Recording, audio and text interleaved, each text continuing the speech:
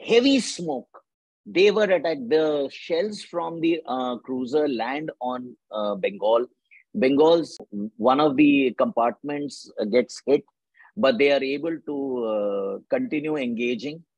And when the smoke clears, one of the merchant cruisers gets sunk, and the other one was nowhere to be seen. It later, of course, reached Japan.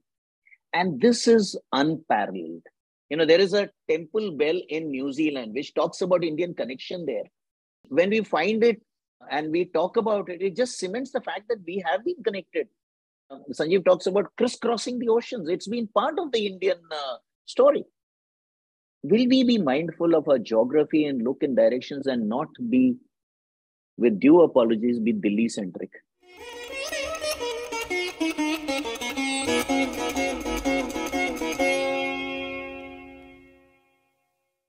Namaste to all the viewers that have joined us today. Today is a special day on two counts. Firstly, Mahashivratri, so Sangam Talks wishes you all warmly. Another is the last War of Independence, 1946, a tale of the naval mutiny within the Royal Indian Navy and other chronicled in his book Timeless Wake, the Royal Indian Navy in World War II. We have with us Commodore Johnson Odakkalji, an Indian Navy veteran whose father was in the Royal Indian Navy and a fellow mutineer in the British jargon. He is presently also a certified behavioral analyst and consultant. Dr. Johnson is the founder and CEO of Johnson Odakkal Initiatives, an enterprise that empowers students and young professionals in domains of knowledge, growth, life, navigation, and career guidance. I warmly welcome you, sir. Thank you very much for gracing our platform, and I would request you to take over from here. Thank you, Ojasvi. Thanks to Sangam Talks uh, Tanya, you, the entire team. Greetings, Jai and uh, multiple greetings. Uh, greetings on Mahashivratri. Also, greetings. In fact, can I say a special tribute? Uh, this is 77 years to the date when, in 1946, on the same day, the Royal Indian Navy ratings, which included my father in then HMIS Talwar, now the barracks, or the Talwar barracks where the naval transport pool is. And I remember Sanjeev Sanyal and me standing outside trying to figure out what all was there. And we did have a look at the places. We also went to now what is the naval barracks, the castle barracks, where my father was incarcerated. So very special in a in a way. I'm getting this over in the beginning because yesterday I was talking something about it and I became a bit emotional. So uh, that's not where we are. That's not the story today, but we will talk about it.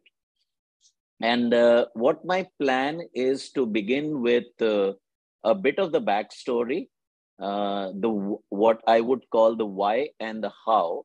So uh, and then uh, share about briefly. I'm catering for about 45 to 50 minutes. an overview of what is very less known that India and rather Indians contributed to the Allied success in the naval theaters. And that's the story of this. And then, but I will end with how is it significant today? So let me begin with the why and the how. And the images on the screen are very, very precious to me.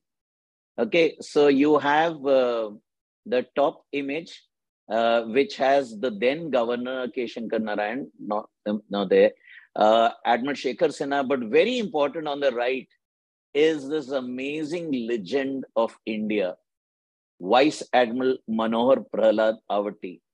No more, he went for his permanent sailing to the yonder world um, in November of 2018.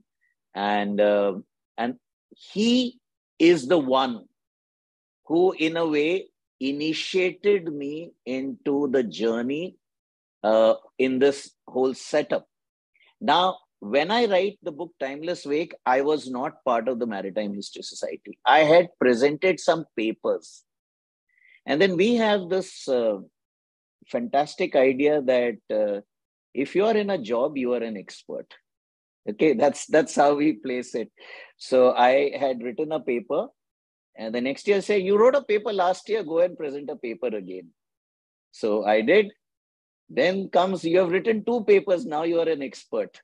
So we had uh, uh, Commander Mohan Narayan, who used to be the curator. He kind of was after me uh, to write the book. Uh, Admiral Nadkarni was also responsible. But then uh, Admiral Nadkarni was the one who really encouraged. But Admiral Awati was the storyteller, the, the person with enthusiasm, the one who would give me inputs. And the other person, someone who's uh, 20 days older than Admiral Awati, is the Baba of Timeless Wake. And that's the gentleman sitting in the center in the lower photograph. Okay. Muhammad Oracle Master from Kondoti, Malappuram. And that itself, I I will not talk of family legacy. I can go in a whole hour on that. But he's the one who told me the story first time when I was a seven year old. Some of those stories. So that's kind of lived with me. And yes, I'm not talking of the uprising immediately. So he was there at this book release on Navy Day 2013, which made me an author. And so, because I've written a book, now I'm an expert on that. Now, uh, you know, jokes apart, uh, I am so grateful to the Indian Navy. I'm so grateful to the uh, maritime veterans. Uh, and today I am part of the veteran community for having the opportunity. So, how did I write? So, when I got to writing the book, there were two books already on the subject. That means, what was the Royal Indian Navy doing in World War One and World War Two, specifically World War Two?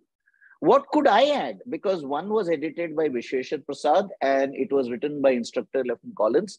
And there was another written by the Royal Indian Navy Officers Association, uh, uh, Commander uh, Hastings. And uh, so I said, there's no point in just repeating the same. And that made me unpack the story. I examined every single incident from the idea of cross reference and double repeat. That means, unless I found two independent sources corroborating, I didn't put it. So, in that sense, this is a completely new book.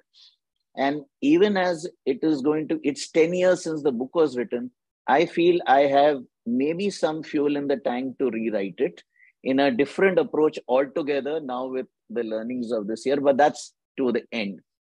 And so I started writing. I was given two years. A year and a half later, I realized I'm not happy because I ran out of my archives. I didn't have any content. Then I requested the Navy, well, you're giving me some some token honorarium to write the book. It's a pittance. I won't talk about it, but the honor is greater than the uh, honorarium. And uh, I found there was no content left. And then I found content at the National Maritime Museum, Greenwich. And I said, okay, will you allow me to go abroad? I was a serving officer. I'll spend the money. And there was a wonderful uh, commander in chief of Western Naval Command, Admiral Bhasin, and he says, no, why are you going to spend your money? We will fund you. And that made me uh, uh, enjoy a 20 day trip to Greenwich, an amazing place. Uh, that again is part of the stories that I tell. And I could dig through so many archives, including Indians who had written and Indian newspapers. And so uh, i'm i'm happy about the book and a lot of people are proud about the book but for me it's something i treasure a lot. So when i'm sharing the story it's i'm also encouraging that you know it is possible. And today i encourage people to speak and to write. So that's where the uh, book the why and the how of the book because i think that's pretty important. But today uh, i'm uh, as i share this next visual the upper half this is a modified slide from what I used to talk about. And I've written 1950 to 2001. So what happened on uh, at independence, by the way, we didn't have Indian Navy. It was still called the Royal Indian Navy. It was only on 25th of January 1950 that the Union Jack, the British uh, flag, went down for the last time. Uh, and uh, uh, then the uh, they, they, that had gone down rather the ensign the uh, white ensign from royal navy uh, went down for the last time and on the morning of 26 january 1950 the indian naval ensign went up and that was the design as it was that time. The naval ensign has gone through a few design uh, changes. And last year, in, on 2nd September 2022, the Honorable Prime Minister un- unveiled for all of us the new naval ensign, and that itself is a story. How is that special? That's also part of the journey of the 75 years of Indian independence, the Azadi Ke Amrit Mahotsav, and uh, which I was a part of writing uh, some of the accounts and also uh, making helping uh, script a documentary so today that is there so it was not just a change from the prefix of royal or dropping the prefix but it was a sign of coming of age of a navy of a journey which is much older which is what my next part of what i'm going to tell about is so this story is the first half of the 20th century okay so this is 100 years uh, uh, about a century later. Now, I have on the top left an artist rendition of Lothal. My personal study is it might be very different from what the artist has rendered. And I have a feeling we are still piecing together pieces, uh, whether that was a pond, a dock. Uh, there were port operations. The uh, geology was different because there were earthquakes after that. But the truth is, Lothal was at the hub of significant maritime activity and trade from west, western, northwest part of India. And I'm talking only coast, by the way. I'm not talking of Pashtuns and those areas, the landmass. Uh, but from Gujarat, trade to Oman, to Mesopotamia, to East Africa, and I have a feeling even to Madagascar. It was not one route, but multiple routes. At some stage, uh, by the 12th century, uh, it is now recorded whether you hear Sanjeev, uh, Sanjeev Sanyal, whether you hear Shashi Tharoor talk about pulling down, uh, and he loves pulling down the colonial components, and many other authors talk about it. We had a sway over the maritime domain. When Cholas get sick of Indian ships being pirated and the authorities to be in what is the Vijayanagar Empire not taking action, he launches a naval expedition. So we, we have this notion that India is, you know, very peaceful country and we don't attack. I'm sorry, when we are threatened, we, we attack. Okay. We don't attack because we have annexation designs, but to preserve good order and peace. And in that, we would not ever hesitate. And I think that kind of remains. So that was the medieval past. Unfortunately, that millennium of naval influence goes down because we, our sea mindedness, our maritime consciousness dips, and we allow European powers with their focus on their maritime prowess to literally overrun India. But they came from the sea. This colonization, this attack did not come through the Himalayas or the Northwest. Those who came went back, but these guys came and stayed on. However, the naval infrastructure and the force that they built is still a part of our history and a legacy. It, we can't detach ourselves because, in form and structure, the Indian Navy did start. Today, 75 years later, we are doing a lot of review and changing some things that are not relevant in our context. That's a part. So, in the turn to the 20th century, the names changed quite a lot. We in between had an Indian Navy also as a term, but you have the Royal Indian Marine. And that is how uh, in 1892, uh, that's the force that uh, gets ready when World War One happens. So I am not spending time on World War One, but I would love to share a story of World War One and that's the story of the Suez. Now it's a little dated now, uh, but some people might know of the Evergreen ship that got stuck in the Suez. And for nearly a month, how everybody uh, was uh, in panic because imagine before, what did Suez do? It shortened the distance between Europe, or rather the Western Hemisphere, and India uh, to so that they don't have to sail all the way around the African continent. So we saw what could happen. And during the World War, World War One, which is called the Great War. At one stage, Germany, which was in ascendancy, and Baron von Falkenstein, uh, he is an advisor to the Turkish military, and there is an offensive by Turkey literally threatening to slice the Suez into two. And who goes to defend Suez? The troops that go are from the 62 Punjab, part of the 11 and 12 Indian Division. They're the ones who are finally stationed. And who goes to provide the gunfire support, the naval gunfire support among the ships? It was HMIS Hardinge, whose gun crew were Indians. So even in this, where uh, and it it the battle is unfortunately we don't have too many details, but what little I could piece together, uh, the attack was repulsed and Suez remained. Hardinge continued to operate over there. And there were three other ships northbrook uh, dufferin uh, and, and and and the four total ships. They acquitted themselves with glory. They continued doing patrols in the gulf uh, in in uh, east africa in that segment.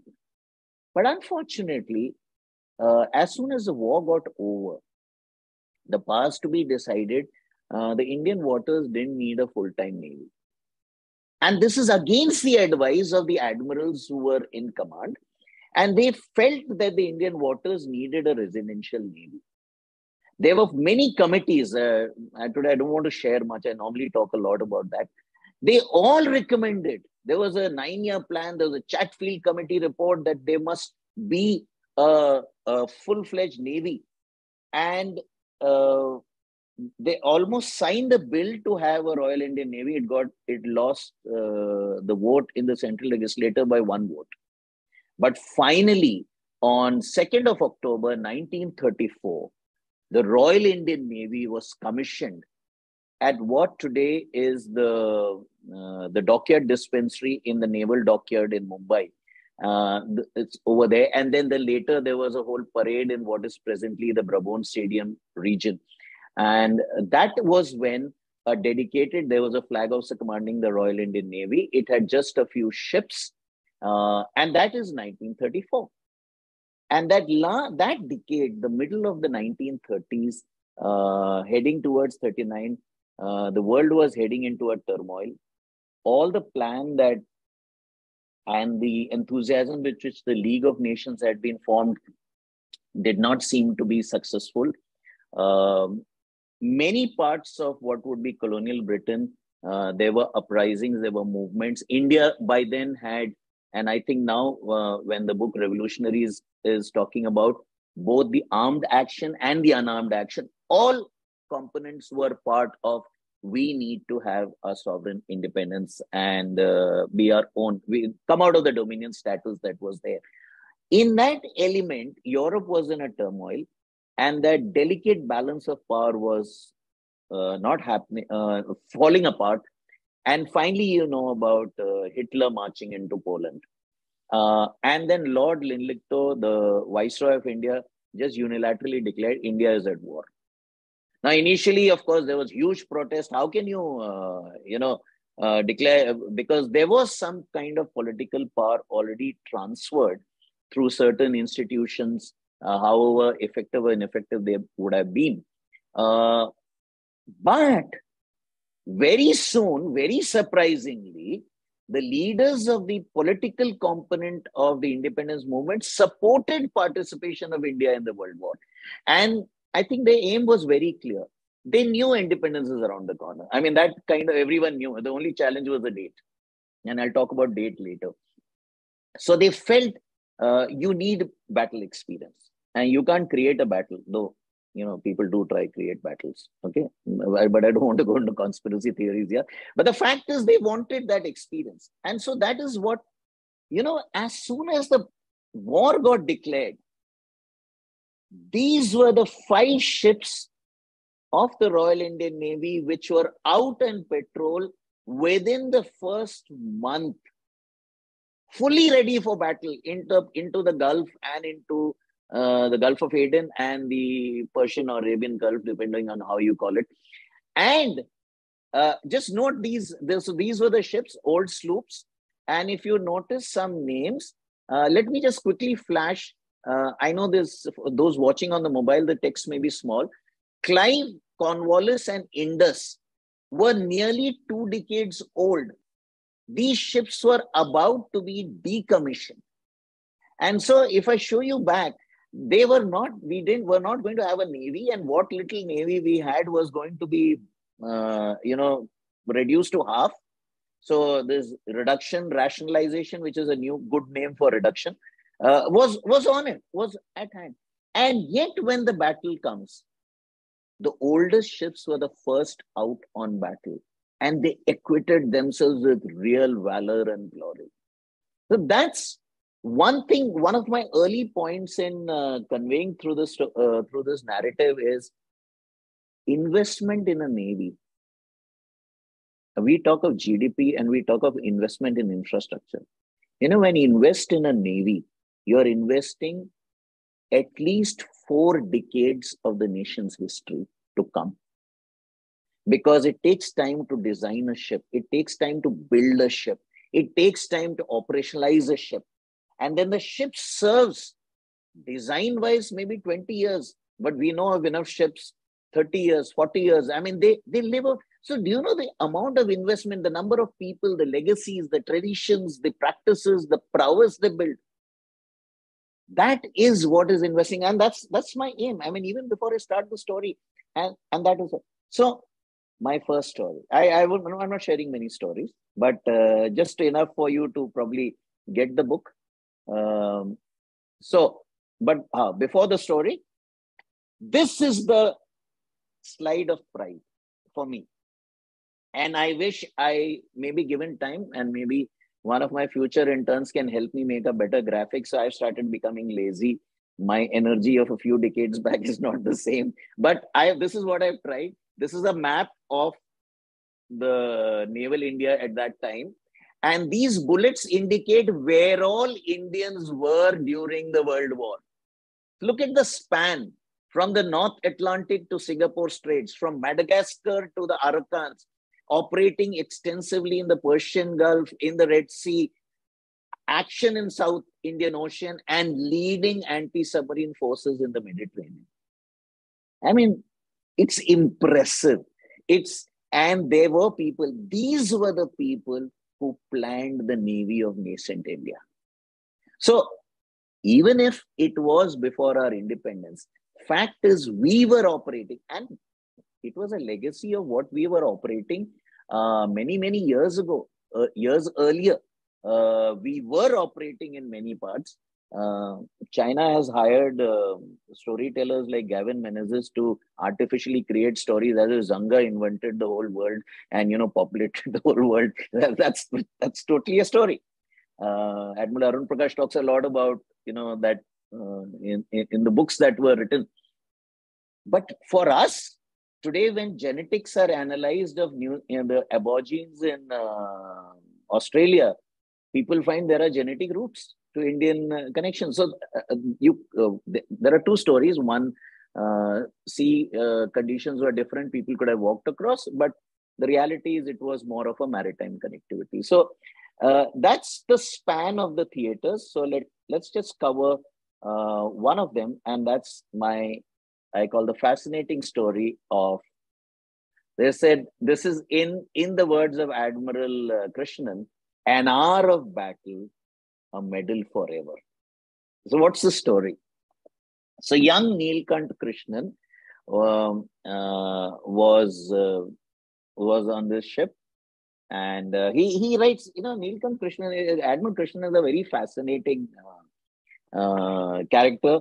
Um, and Arjun, his son, has written a lot. I'm just opening the uh, the story in my but so he, he, he the whole book's a sailor story uh, captures the uh, the whole account.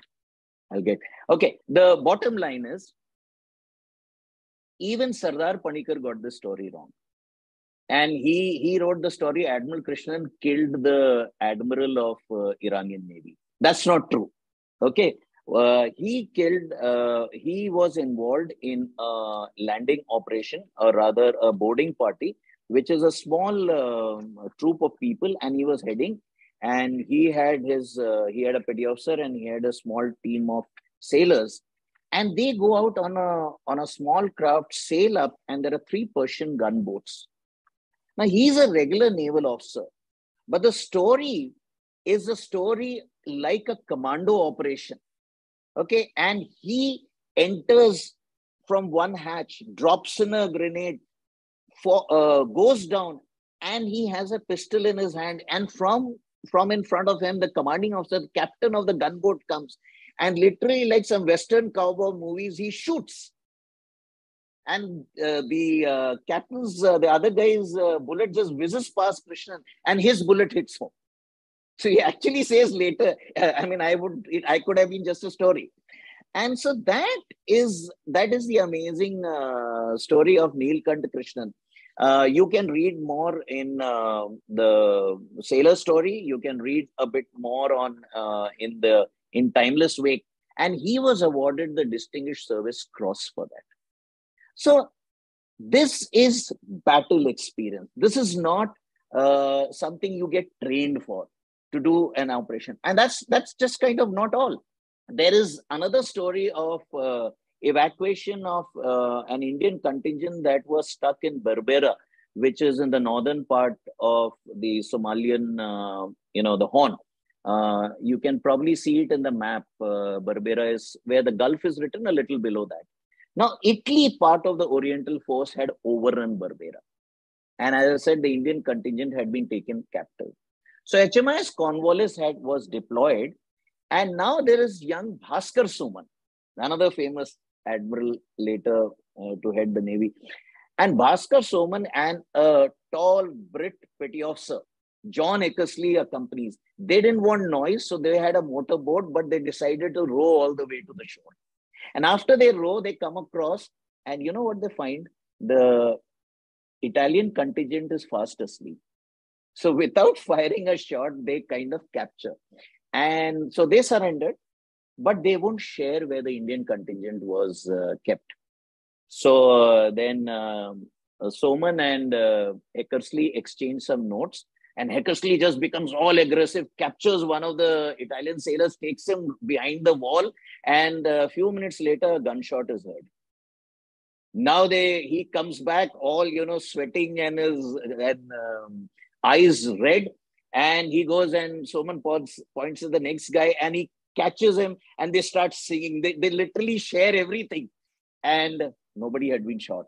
That was just a ruse that they had been they had planned. So, you know, these things happen in war. These are not what you plan for. These are not tactics you discuss. These are these are things that experience in war. And of course, uh, they went on to. there was a story later told about capture of a submarine and and other stuff. I want to jump forward to July of 1943. So this is Operation Husky. So let me let me just backtrack a bit. By this time, 41, 42, the uh, flag officer commanding uh, Royal Indian Navy, the East, the CNC East, they realized that uh, they had to equip and strengthen the naval forces around the Indian waters and those who were deployed in the east. So, two, three things were done. A, they armed a lot of merchantmen. They took up what today is called STUFT ships taken up from trade. Uh, they fitted guns, and that's where the naval dockyard became quite handy. And they uh, fitted the uh, anti aircraft guns. Uh, they also decided to commission uh, six ships uh, from England and uh, they were uh, they were commissioned. Uh, there were six sloops of what is called the Sutlej and the Jamna class, and they sailed all the way from Atlantic, but they couldn't directly sail.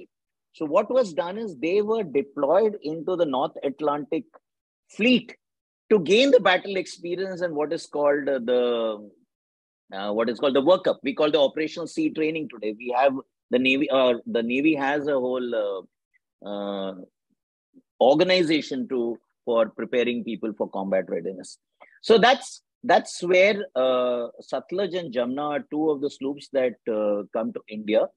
And as soon as they come and they finish the Indian familiarization, they are then deployed. Okay, so they are deployed. Now, Operation Husky, if you have read anything about World War II, uh, was a plan for Allied forces to recapture the continent by launching an uh, uh, attack on Sicily and to land troops. In that launch, uh, uh, in, in, that whole uh, operation, Satluj was made the head of the anti-submarine forces. And so they were the first ones to have what is called the ASDIC. And ASDIC is the earlier version of what is sonar, okay, by which you can detect underwater threats. And so Satluj and Jamna were, were deployed. Uh, Satluj was head of the anti-submarine forces, and they remained deployed in the Mediterranean for quite some time. So in the allied forces people you know we are still uh, at times struggle to enhance uh, our anti-submarine effectiveness uh, enough defense writers bemoan about the slow growth of the submarine forces or the anti-submarine operations but the fact is that realization comes because we gained that experience in that kind of operation in 1943 half an hour done my next story is this lovely story of what i call the bengal bravery and I call it the David versus Goliath story. And allow me to spend a bit of a time. This is chapter 10 in my book. Um, incidentally, the story is not mentioned in the first account of the Royal Indian Navy in World War. Bisheshwar Prasad book conveniently skips it. I have no idea why, why he skips it. But if you come to chapter 10 of the book, uh, that is the story of the Bengal bravery. So, what is this uh, story all about? Well, as I said, the plan was to strengthen the forces, the Royal Indian Navy. Uh, one part comes much later, but uh, uh, the earlier part was that they decided to get Bathurst class minesweepers. That's a particular class of minesweepers uh, built from Australia, and they would sail all the way from Fremantle which is uh, the cricket lovers will know it as Perth. It's near Perth. And they were to be sailed to India. So one of the teams was, it was uh, the sailing of um, uh, HMIS Bengal. The crew had been sent to um, Australia. And in the very first sailing, they were get, given a battle task to escort Ondina, which was a merchant ship, all the way to Diego Garcia. So that, that they sail in uh, November. And on 11th of November, midway in central South Indian Ocean, they encountered two Japanese armed merchant cruisers. The size of Bengal was 650 tons. The cruisers were 8,000 tons and 10,000 tons. So I'm not just talking about weight difference, but they were bigger, they were sturdier, they had more resilience, they had uh, uh, better armament. But here is a story, and this is one of my work. They they encounter, uh, they, they find a little ahead, this, and they clearly knew that this is not one of their uh, vessels, and uh, so they Bengal then takes action. Bengal asks Ondina to lie off and head towards Colombo, uh, uh, move away. But Ondina doesn't go away. And, and that turned out to be a wise decision. Bengal refrained from firing its guns because it had a range disadvantage. At one stage, the first of the Japanese cruisers fires at Bengal. Bengal still holds fire, and only when it came in range, it started firing. And uh, uh, the the commanding officer, in his uh, story when he is uh, writing, okay, he shares a story in his what is what we call the letter of proceedings. Uh, the story of heavy smoke they were attacked. The shells from the uh, cruiser land on uh, Bengal. Bengal's uh, uh, um, one of the compartments gets hit, but they are able to uh, continue engaging. And when the smoke clears, one of the merchant cruisers gets sunk and the other one was nowhere to be seen. It later, of course, reached Japan. And this is unparalleled. It is, uh, it's almost like the biblical account of David versus Goliath or any of the accounts you can see. Bengal literally, uh, uh, then Ondina proceeds independently to Diego Garcia. Bengal literally limps back to Colombo. Uh, it is received with great honor, with great pride. The gun crew of uh, Bengal, comprising of uh, P.K. Nair, Stuart, Balachandra, um, Raghunath Sone, Ismail Baba, Muhammad Khan, Muhammad Kareem, uh, they were mentioned in dispatches. Um, it were awards were literally handed out, and when they come to Bombay, finally there is a public reception of for Bengal. It's one of those receptions. There was a parade. There was like a battle uh, honors provided. Bengal, by the way, doesn't spend much time. Repairs are completed, and it proceeds to Singapore to um, uh, continue part of the anti-submarine operations. Uh, I've spent a little time on sharing the Bengal story because to me that's it. That's fascinating as it can get. Um, and that's what is naval action. I come to what would be the uh, last of the direct uh, battle discussions or stories that I will do, but this will again take a bit longer. And that is the Burma operations from 1943 to 1945. So, Japan had earlier tasted success in the early part of the 20th century. Uh, unfortunately, it was not on the winner's side.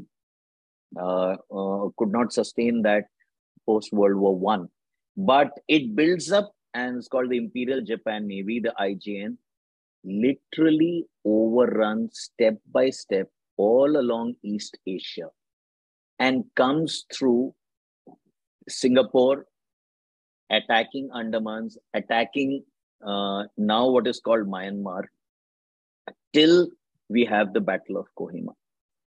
So the Japanese Jeopardy, that's the title of uh, what I have written about that operation, reaches a stage where the Royal Indian Navy is forced to think laterally and differently. And that begins the start of the Royal Indian Navy's landing craft wing. October of 1942, uh, this is what later we would call the amphibious operations, which is where uh, it's a both the armor uh, army operations and the naval operations come together. And in today with air cover it's the classic tri-service operation. Uh, the landing craft wing is created. Why is it very interesting? My father joins 1944 the landing craft wing. A few years later of course he was not uh, in uh, myanmar. Uh, he he was of course heading when japan surrendered. By 1943 the 55 motor launch flotilla uh, did significant operations. And here is interesting Indian forces had been involved in Burma operations even 100 years ago. When uh, during the earlier time, uh, when the company was in power and there were Marines which were deployed and there were operations held. Uh, in the area of Arakan or in the area of West Myanmar, uh, something like the west coast of India, it's more than rivers, you have these creeks but they call them chaungs. It's very easy to hide and ambush uh, any um, approaching uh, vessel or uh, patrol vessel. And so it requires a different level of skills, and young lieutenants, young petty officers were involved. They continue operations through the next season after monsoon from October 43 to May 44. Finally, they reach Arakan. And what is shown on the right is from an extract I found at uh, National Maritime Museum. It's five navies fight the battle. The Royal Australian Navy, the Royal South African Navy, uh, the Royal Navy, the Royal Indian Navy, and uh, there was one more. And they come together in multiple ways. Finally, this, what the red, uh, like veins is indicated on the map, that was a different operations, finally ending with Rangoon falling to the Royal Indian Navy on 2nd of May 1945. And that's where Rangoon gets captured and uh, Burma is back with the Allied forces. So that's where uh, I, I want to kind of pause the main story, but I'm not done. I still have got a little bit of the story left, which is when in 2013, I uh, when the book was published and I wrote, my closing chapter was what is called a living legacy. The first part is what is called geography. Now, India or the Indian geography is unique when you look at the Indian Ocean. It's a peninsular region, it's a peninsular geography. We are aware in the formation of India, in the uh, geological history of India, a piece of land broke off from Gondwana in the southwest and literally sailed all the way up and crashes into the Eurasian plate. And that forms the Indian geography. So um, that is that is the most dominating feature. Now, many people talk about Indian Ocean as if it's India's ocean. I want to correct that it is not India's ocean. It was never known as Indian Ocean till the 16th century. And we didn't have this concept of kind of claiming territory and naming it. But in a lot of writings, especially a lot of Greek writings, or I think, um, yeah, it was as a Oceanicus de Indicus. That's how the name comes because everything east of Suez or everything east of the Red Sea was India. That is how it was there, and that's that's common in many stories. But the fact is, if you look at the Indian Ocean geography, the Indian Peninsula is the most dominating feature. And what does it give? It gives us an ability to see 270 degrees. You can, most of us see west, but you can see south where you go all the way down to Antarctica. And east, which has been a cultural and commercial and later now contested connects. Are we mindful of our geography? How many times do we realize we travel all the way to Kanyakumari? We look at Swami Vivekananda the rock. Do we know that there is a sea beyond it? I mean, we we stop at Andamans, and there are a lot of stories about. I mean, Andaman is strategic. There's much more beyond it, and I'm very grateful. At some stage, we said act, uh, look east, and then we made it act east. And said, why just stop there? Act ocean, act east, south, and west. We suffered because we took our eyes over the ocean. Though we never stopped sailing. By the way, Indians never stopped sailing. Even when edicts and were made and Samudrolangan was talked about, Indians continued to sail. Will we be mindful of our geography? Today, from Indian Ocean, we say Indo-Pacific. But that's not new in Indian context. You know, there is a temple bell in New Zealand which talks about Indian connection there. So when we when we find it uh, and we talk about it, it just cements the fact that we have been connected. Uh, Sanjeev talks about crisscrossing the oceans. It's been part of the Indian uh, story. Will we be mindful of our geography and look in directions and not be, with due apologies, be Delhi centric? Okay, it's not that attacks only op- happened from Himalayas. We really lost a freedom from sea. The next is uh, seafaring culture. And I call this uh, three combinations of blood, muscle, and brain. No seafarer has become a seafarer without shedding blood or straining his muscle. And when I mean, let's talk a story of how people would sail. One of the first tasks globally, this is a story. Uh, a ship would come into port. Some people would visit, and you know they would have a drink at a tavern, and they would be hijacked and next you wake up in the morning you are at sea and you're pulling ropes. Well that's a western story. Fact is indians uh, indians have a different story. We operated a stories of sailing with the lunar cycle and tide to tide spring tide to spring tide. Uh, the ship would be brought in at high tide. Uh, repairs would be completed. The cargo would be loaded. And when the high water would come sweat and blood would be put it would be pulled out to sea and they would sail they would come back after one or two tidal cycles. Sardar Panikkar writes a whole paper on tides in ancient India. So there is a quantum of skill and effort and takes years to be a good seafarer. Uh, even as we talk, we have Abhilash Tomy all set to round the Cape of Horn. And you know what all he's been through. Some of us who are following the story, we kind of feel anxious. Um, I don't know, share my stories of storms and rescues by Coast Guard and stuff. But the sea is a tough place, but it's also a place with brain. And in the Indian nautical story, and I'll talk about this, and I should be mindful of time, is that you have to apply your head to succeed and not the nautical heads because at sea heads means the toilet okay we are crazy people we always name things the other way around okay so uh, but blood muscle and brain which means skill research study education that will bring seafaring culture um, recently we were at bhubaneswar and that's where this possibility of the sangam talk actually first birthed and the Indian Navy, along with the Ministry of Culture, Sanjeev was involved. We uh, uh, the project for Stitch ship was announced because there will be some merit in the technology and the concept of shipbuilding in the past. Everything is not about nails and welding. Uh, we are talking of composites and others. So seafaring culture is a lot, and I will spectrum of operations. You know, blue water operations. World War II, we saw blue water operations but you also have a praise for brown water operations. That means the coast needs to be protected to prevent a 2611. But are you aware now there is a movement to green water operations, which means not we are not going into any algae laden water. Okay, this is the concept of sustainable sea based activity. There are garbage patches in the ocean. There are pollutants which are literally threatening to kill the planet.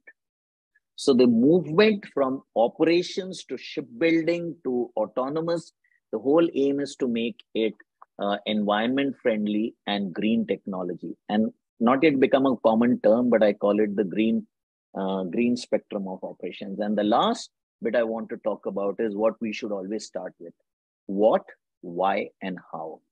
Why do we need a navy in the first place? Why do we need to be a maritime power in the first place? Why do I need to pour in so much money? Why can't I just be happy with transporting stuff? Because we are a maritime nation, our survival. Um, uh, you know, yesterday I was talking uh, in my uh, my own personal faith system, or we talk of the Indian cultural core. Life began at sea. The first avatar is from the ocean. Uh, the opening lines in the Bible talks about chaos and the Spirit of God hovering over the waters. In whatever way you talk, the sea is that Samudra Manthan is not just about some ratnas coming out. It's the knowledge of churn when you um, operate deeply and research into the domain of the ocean of knowledge. There is a need for education. I mean, mainstream education has challenged. We are talking of oceans. Etc. This is what I wrote in 2013. I want to believe it is still valid today, 10 years down the line. And so with that, uh, allow me to just kind of go off the story and uh, share a bit of what I am doing and how I believe I can be of value to it. So I, I want to, uh, I would have ended the story here. The maritime world has myriad hues. You, you know, and in the ocean, I found some of the most beautiful sights in my life, both above water and underwater. There are multiple frames. You don't have one frame of reference. There are many frames of reference. There are many learnings. It's impossible for anyone to call themselves a maritime expert. Impossible. You cannot unless you're God yourself. Okay, only the divine has that complete Sampurna Gyan. Okay, none of us have. I just feel I was a couple of years ago on the verge of writing another eight books. Sanjeev Sanyal and a good friend, and I know I've quoted him a lot, keeps firing me why you're not writing. I don't have the bandwidth to write. Because, you know, when you come to culture, heritage, education, you need a source of income, you need a team, you need a complete infrastructure. You cannot write as uh, Old Man in the Sea by Ernest Hemingway. Even when another good friend Amish writes, you know, there are some he writes, but he writes with a team. I mean, you, it, it's uh, uh so uh, I suddenly am feeling a lot of work which is half done. You know, I am actually making an appeal. Can someone take the stories that I have half written, the projects that I have half done? And is there a setup that can take? I know the Indian knowledge systems is uh, doing it. Uh, I spent six years at Maritime History Society because a crazy admiral asked a crazy commodore to come and be a part, and we both spent madness. I did things which were unthinkable. I offended a lot of people, but we delivered. I mean, uh, that is today a fame. Today, a lot of work is not done. So, what have I done thereafter? So, let me not be this be a litany of woes. This is what I did today. Okay, today I coach, I communicate, and I guide others to proper careers. Okay, what is coaching? It's all to say that you have a compass within you. And in the Indian context, by the way, that's a favorite compass of mine, but in the Indian context, we have heard of the Matsya Yantra. Okay, it's a, a very unique idea. Do we have a voice? Are we able to express a voice? Can we write well? And I believe everyone can write, everyone can speak. It's a learnable skill. And that's the other thing that I do. And careers, uh, one line from my career guidance skills that are top on demand today, the careers which are the top careers in the world, didn't exist 10 years ago. The same thing is there in the maritime domain. You know, if you are a blockchain expert, if you are an environmental um, professional, you will do very well in the maritime domain because the sea has dead zones which are without oxygen. There, you need to address it. There are garbage patches larger than the size of France in the ocean. If you don't touch it, see a climate change. Yesterday, I read today's morning newspaper. Across India, yesterday was late March like temperatures. And that's because the sea balances have been altered, and that uh, is. I have been very fortunate in the year and a half since I uh, superannuated from the Navy. I've run into a lot of people, including when I was with the Disha series of talks at Bhubaneswar, across from interns working with me. Even right now, I have three interns who are so adorable. They they just love to study, and I I'm I just enjoy being with them. I'm so grateful because of what the country invested in me over 39 years. I can do that. But I want to feel that my battery can still be charged and I can still contribute. So I want to end back with Timeless Wake, which is to say, pursue knowledge, pursue growth, pursue life. If you feel I can be a part of your journey to help you find your timeless wake, then please mail me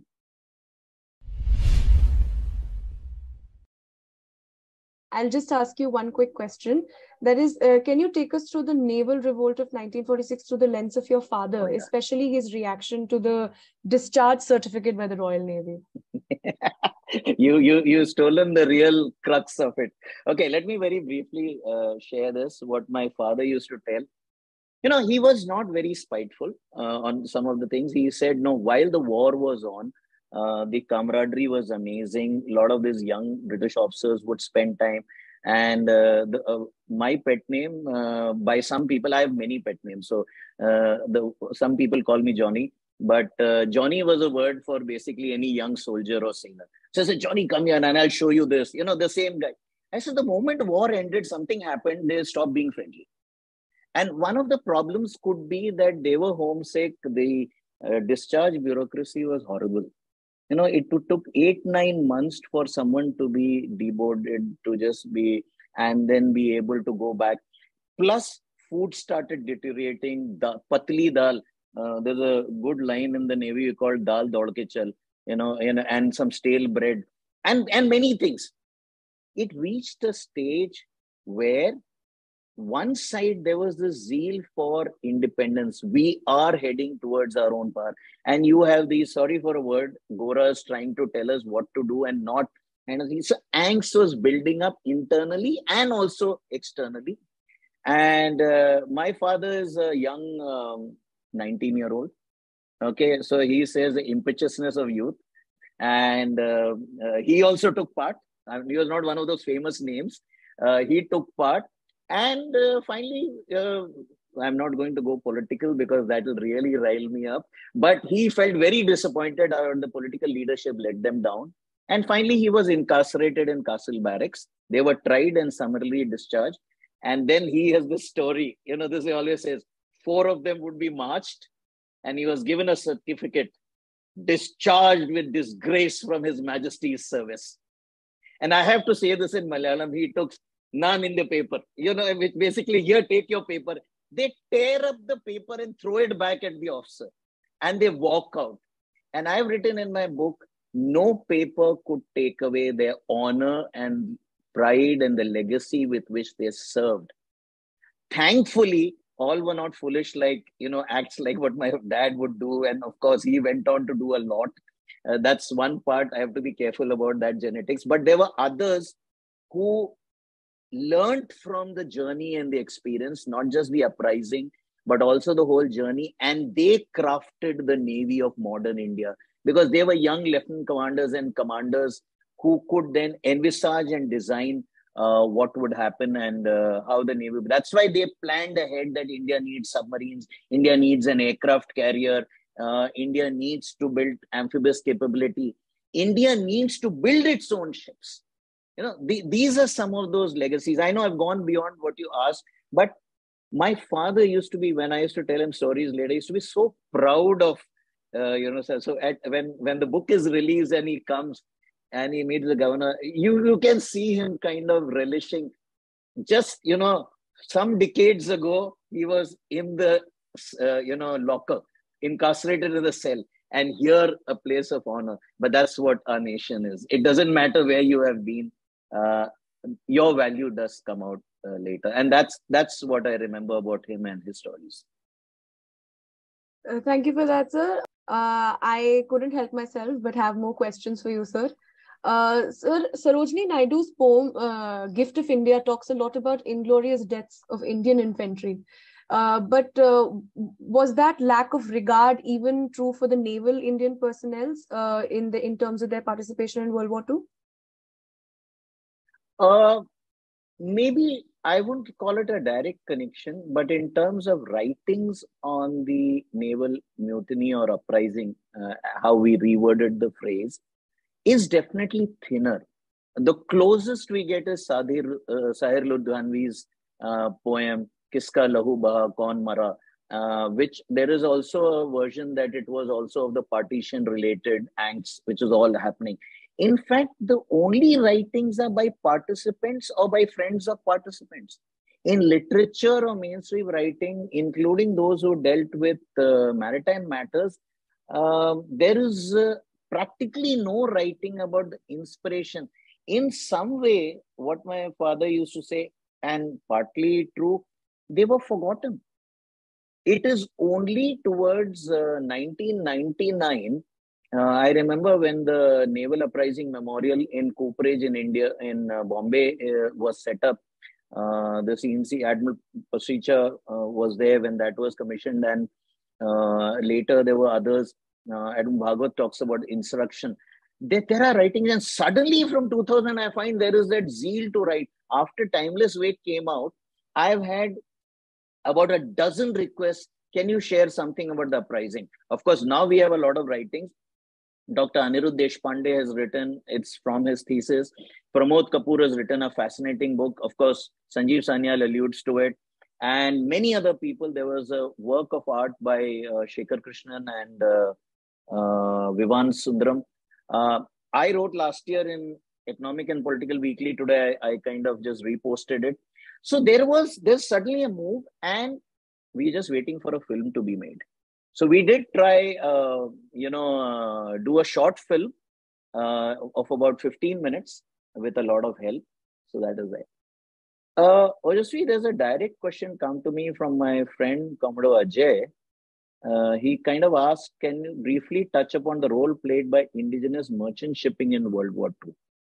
Uh, so that's right. Thanks, Ajay, for the question. Um, right in the beginning, uh, this is both. They played a role both by direct participation and also as support operations.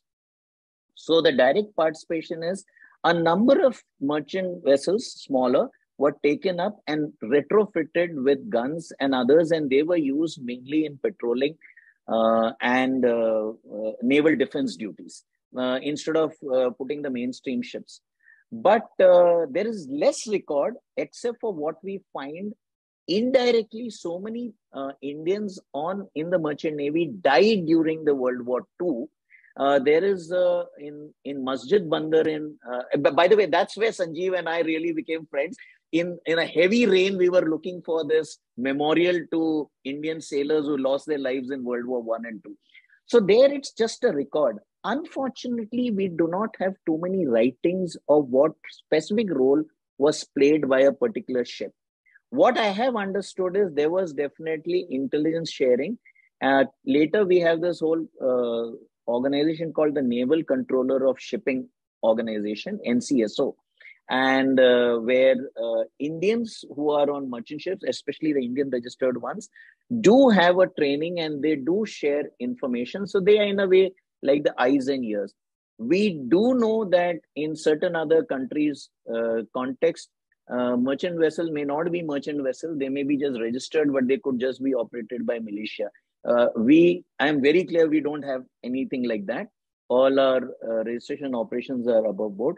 So uh, Indigenous merchant ship did part, but unfortunately, I do not have more literature or readings beyond uh, just the fact that many of them were involved. So, one more question would be uh, what were the ramifications of India being deprived of the Industrial Revolution?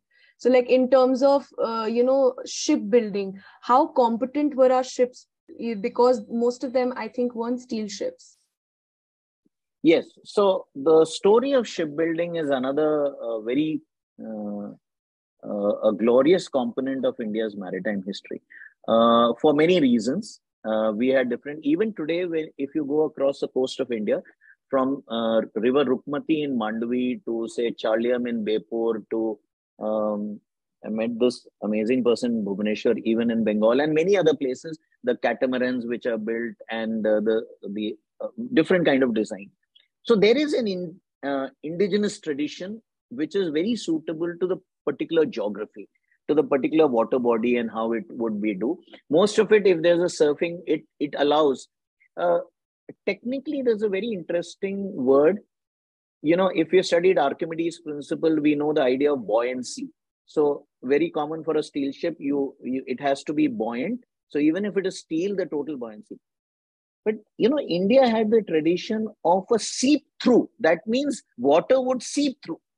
So when a boat would be made of reeds, it is not waterproof. Water allows, but its uh, technique allowed it. There was still place for with the buoyancy for the cabin to be above water, and that would still allow operation. Not not all of them. So, uh, and there are experiments in that regard. But specifically to your question, uh, when uh, Wadia's, uh, Lasaruji, uh, Wadia uh, became a master builder, uh, shipbuilder at the naval dockyard, it was still wooden ships being built. And you are right, and I've written that the industrial revolution kind of is not the benefits don't come to India because that's exactly by when colonization is completely happened. But the foundries in naval dockyard were operated by Indians. So even today, when it comes to lining the boilers of a steamship where there are steamships that's a craft which is very and plus i've seen uh, when it comes to cast iron and fittings uh, whether you use covers of a sewage line or anything anything to do with cast iron india still retains but you are right it would take a long time till the Scindia shipbuilding yard in Vishakhapatnam or later the P&O line becomes the Mazdocks, Mazagon shipbuilders. Before that becomes the main uh, method of shipbuilding, we were a little late to the journey in shipbuilding. Thankfully, the naval planners were very clear that indigenous shipbuilding, so both with the mainstream shipbuilding as well as the naval defense shipyards, the effort towards what we today call as Atmanirbharta has been a part of our tradition, of our design. But I believe there's a long way to go. So we did miss the industrial revolution, but I think Industrial Revolution 4 and 5 very much are on our side. And when it comes to AI, blockchain technology, composites, green shipping, uh, we are going to rock the world. And I'm not saying it lightly. Uh, we have the necessary focus. Uh, IIT Kharagpur was always looking at some of the elements. Uh, IIT Chennai looks at ocean engineering, and there are a lot of others. Uh, you know, Navy has been uh, Naval Indigenous and Innovation Organization, if I get the right. A good friend, Commodore Golaya, is looking after it. And that's how to bring the Indian uh, entrepreneurs and thinkers and engineers on it. So we may have had those challenges of delay, but I think we are well on track to see that uh, we are not the leaders in shipbuilding today. But in the Maritime India Vision 2030 does talk about we moving to well within not just the top 10, but the top few uh, in shipbuilding in India. Uh, sir, um, uh, there is often this uh, tendency in within the Indian Army and all its three pillars that there is this connection we have with history that predates organi- organized army. So, if you see the Sikh regiment, uh, I remember seeing you know statues of Maharaja Ranjit Singh everywhere, and that's the same with Chhatrapati Shivaji and the Marathas. So, um, how does the Indian Navy connect itself with the very rich maritime history that you talk about, like the Cholas? The good part of it, we may not have advertised this much, but we were always mindful. But today it's happening in a very institutional manner. So we always called our two Maratha admirals. We use that word, but I don't think they would love to be called that. That is Admiral Awati and Admiral Nadkarni, because both were from Maharashtra. I mean, that's just a coincidence. I think they were very pan-Indian. They were very uh, very focused and very global citizens who are Indians. That's because I've, I've, I've spent hours with talking to them.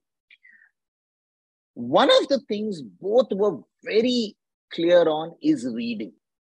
I mean, reading history is the most important, but reading. And they were well aware. And they would really debate with you if it did not match what they read. And I am one of the fortunate ones who had debated with both and had one or two victories, not many. I mean, just one or two. I, I places that I have, I have kind of had a conversation with them.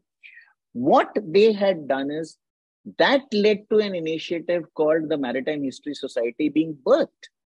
That led to the effort. Today, what we are doing is we have realized, okay, we have been referencing too many pieces of literature from other sources when there is awareness and need of very much, can I say, Indian Ocean sources. Let me be more just than Indian, because I think there was nothing. We were a very interconnected ocean community. A lot of traditions, when we talk of Siddhis who really challenge the thing, they are from Abyssinia. Okay, uh, we call of the Roman connect to um, uh, Muziris. So we were very pan Indian Ocean community. So in that tradition and reading. So I can give you a very specific example. The Brits would have you believe, I have to be very frank, the Admiralty would have you believe that navigation was invented by them by 16th century and you could find longitude only when the chronometer was invented. And when I, I, I got riled, so I launched a project called uh, taking on the work of very illustrious late Professor Arunachalam, who had done a lot of work on Indian sea heritage and navigation, uh, how the Cholas navigated across uh, with parallel sailing and how the Pothis were written in British. And I put across, I'm sorry, it's one of the pieces that is lying in dust because it requires phenomenal funding, it requires a team. So, whether it is the old shipbuilding methods, the compass, how did we use our knowledge? You know if we can make a janam kundali with the exact patri and the position of the stars i'm sure we could locate the star and get the position out of it. So the knowledge is not. Unfortunately we haven't recorded it as well as some other people who have borrowed. We call it the arabic numerals no? Numbers were invented by india transported to arab taken over this and now they, they someone else teaches us mathematics. We were the original inventors of maths so if we had knowledge of maths, we had knowledge of astronomy, we had knowledge of geography, why would we not have knowledge of navigation? So that's my quest. I've been looking for geographers, I've been looking for Vedic scholars, I've been looking for some because I can't do it. I'm be very honest. It's it requires too much, but I can facilitate it because I'm a very uh, you know passionate navigator. I do that for life and. So coming back today, there is an endeavor. So when Professor Gantri Shastri, I talk in the Indian knowledge system, I mean, he's interested, but then he also has to manage the budget. So, you know, so if, if we can get this together, we'll have some of these. And then tradition wise, the idea of good order at sea was done by Cholas practically. The idea of strategic vision, Shivaji's navy wasn't large enough. But he is the one who envisioned. It is Sarkhel Kanoji Angre who finally in 1699 is made the admiral, who finally gets more wins, even though uh, Shivaji himself had a very clear maritime vision. We forget about the Kunjali Marakkars. Ordinary boatmen and traders for 100 years didn't allow the Portuguese to, without prior approval of the Samudri, to even step on the Malabar coast. So this is our tradition. And so the smallest piece of work which I'm hoping to do, maybe with not with just about little support, is uh, maritime governance through Cholas, Kunjalis, and Angres. You know, I hope that uh, we can kind of, but it, it, all these require, you know, like you can't sail a ship alone, except crazy people like Dilip Donde and, you know, uh, Abhilash Tomy. But, uh, and they also are doing it because there's a whole team, there's a whole village supporting from background. If we do that, then some of these we can do. And then the traditions which are Indian and Indian in nature can be ones which drive us in our thinking, along with we are very inclusive. When we say Vasudev Kutumba, we take learning from anywhere. We don't have a problem in learning from anyone, but we don't have somebody dictating to us, look, you are wrong and this is how it is. That that we have a problem. Uh, the way sometimes uh, the foreign minister kind of you know gives it back. That's exactly how you know because you have to study first the first is like you saying uh, that's what sanjeev sanyal also says in his book land of seven rivers that we were not good at very good at documenting it. We, the map building the map making was more that the westerners did.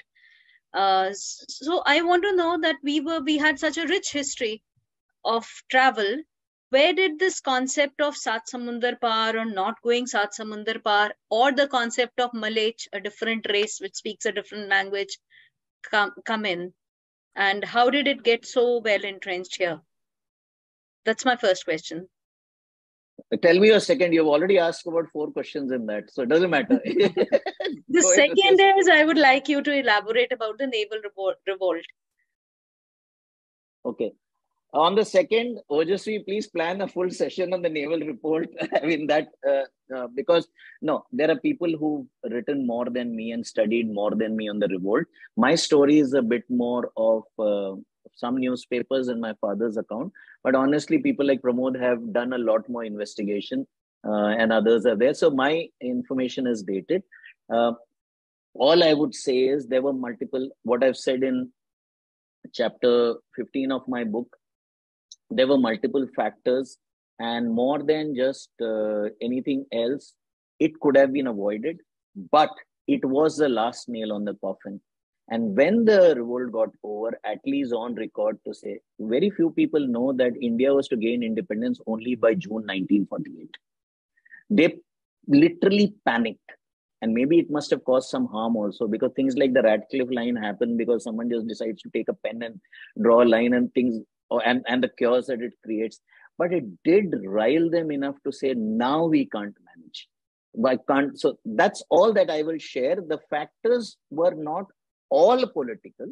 The factors were more of a clear biases and discrimination. Once the war, war has a tendency to unite. Once the factor of war got over, then the real colors start coming out and angst was building up. But there were some people who tipped the uh, boat who kind of facilitated with uh, collaborative action from so there are those two versions. One it was just nothing. It was just uh, angst. One it was a very planned movement. And honestly for me as a researcher i would take both ends. And i think it's a mix of them to be frank. That's on the naval revolt but i think there are more experts who can share more. But let me let me uh, definitely talk two different things. When it comes to maps and documentation it is not that we did not have maps. We didn't have the cartographic maps that we see today, which definitely in the global community, Portuguese are one of the early ones who did it in the manner that they write. But we did have maps. Our maps were representational. If you see Kutchi, certain paintings, and uh, in, in my office when I was at MHS, I had a map it is very representative. You have an approximate idea and it gives information. If you travel in this direction, you will reach here. If you travel in this direction, so it's not the map that you would see on today's GPS. Because one thing you have to understand, the earth is a spheroid. And when you represent it on a flat surface, distortion happens. and you have different projectors, uh, you know, gnomonic projections, Mercator projections, which talk of how the distortions would happen. And that's one of the challenges, plus information. So we did have representation, and some of those maps are old. They definitely predate the Portuguese uh, cartographic maps which came to India. That is very clear. Even documenting, there are pothis. But A, they were written in a very strange language. Like the pothis of Lakshadweep were written in what is called Urdu Malayalam, written in Arabic script, but with a lot of mix of Malayalam and other things. And similarly in Kutch and other places. Because uh, I'll give another example. Uh, a lot of the Bible or the Old Testament is written by the rabbis, the uh, writers, and they would not leave a punctuation mark between the words because only the expert would be able to read. It, so there has to be some knowledge hidden. Similarly, this is written in a very similar style. So you need, and it's only when um, uh, people like uh, uh, uh, his name will come in a minute. Uh, I'll ask uh, this thing. When the Pothis were uh, Ashok Rajshirke, who knows about five languages, he has done decrypting and he wrote the first set of book. then at amateurs that was published, and then we found a set of Pothis which were about to be sold internationally and then we managed to retrieve paid money we paid money to get it and that's being uh, translated uh, and the, so that shows there were writings unfortunately our aim was gyan batna nahi hai gyan chipana hai i mean because if you shared knowledge you lost power. Let's let's face it we were a hierarchical society. For good or bad we are hierarchical. So the varna system and i'm not getting into caste i'm saying so the information chain. So that information didn't kind of go down. But on the question where I use a word subaltern, the Malich or the that part. So do you know who operated the boats? The Malla, the boatman. Let me take you back to Ramayana when you know Lord Ram has to cross and the Malla comes. There is a challenge, you know, there is that whole story because the ordinary work is done by the ordinary in the hierarchy. And I'm not even talking of any religiosity here. I'm just saying the one who is the ordinary. So, the who is crazy enough to go into the sea in the first place? The one who has the money and I, he'll make others do. You know, I will sit on the throne and others will go. Whether it's fighting the battle, whether it is sailing, whether it it is others.